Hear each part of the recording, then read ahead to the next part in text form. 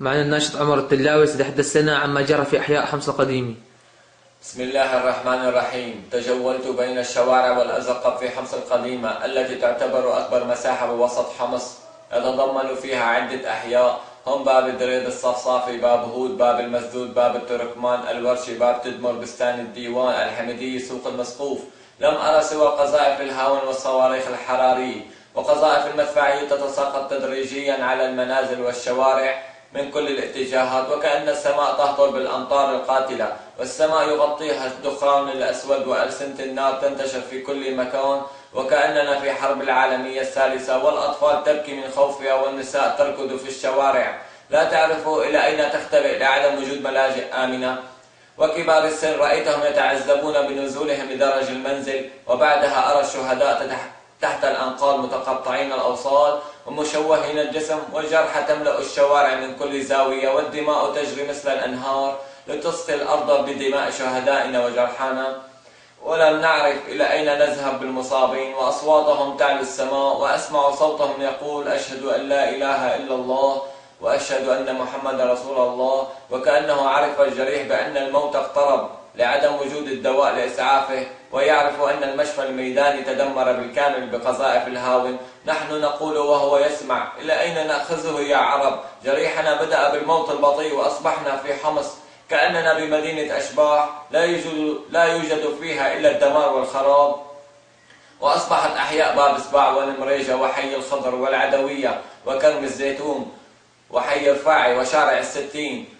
وحي عشير وجب الجندل خاليا من السكان بعد القصف العنيف عليها والمجازر التي ارتكبت فيها والأمن والأسدي والشبيحة الإيرانية احتلت أحياء أهالينا والآليات الثقيلة تنتشر في كل مكان ويسرقون المنازل والمحلات التجارية الخاصة للناس ومن ثم يحرقون المباني ويدعسون على السيارات بالدبابات المجنزرة وسكان حمص أصبحوا الآن يسكنون في ثلاثة أحياء. كل يوم يحاصروننا الشبيحة التي لا ترحم أهالينا ولا تخاف الله سبحانه وتعالى. وكأنهم وحوش مفترسة لا تأكل سوى لحم الإنسان. عندما ترى الدماء تهجم بشراسة وأفكر إلى المدى البعيد لحظات معدودة في كل شيء حيث لم يبقى لنا دواء ولا كهرباء ولا ماء ولا غذاء ولا مازوت ولا اتصالات جوال ولا شبكات نت.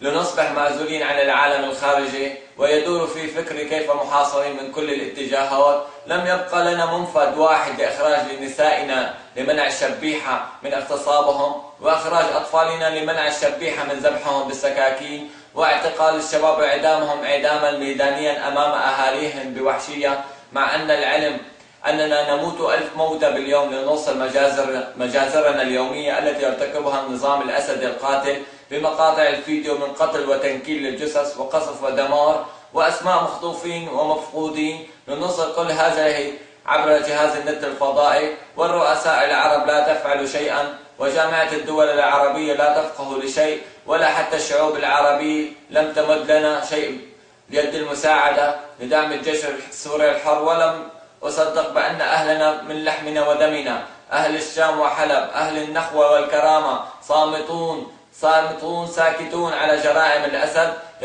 يتفرجون كيف نقتل بدم باردة. ولا يوجد أحد يفعل لنا شيء. وأعتقد أنهم نسيوا أننا أخوة بالإسلام. وبعد كل ذلك أيقنا نحن أهالي حمص أنه كل العالم العربي متخاذل معنا. ولم يبقى لنا سوى الله تعالى هو الوحيد الذي سوف ينصرنا على هذا القاتل. عاشت سوريا حرة أبية ويسقط بشار الأسد.